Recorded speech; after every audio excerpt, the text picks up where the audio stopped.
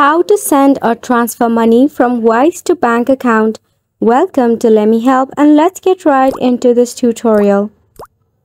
To initiate the transfer, firstly, you need to launch your Wise account, log in into your account, then navigate to the Send section, usually which is present on the home screen.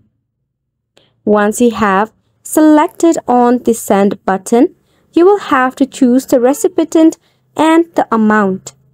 Select the recipient by entering their bank details or email address and enter the money you want to transfer. Review and confirm it. Select the medium of how you want to transfer or pay.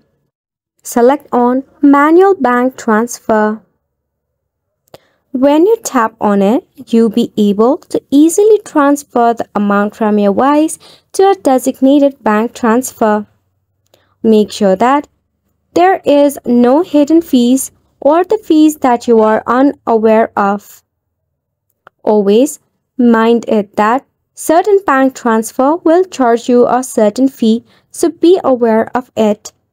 That wraps up the tutorial as well. Thank you so much for tuning in.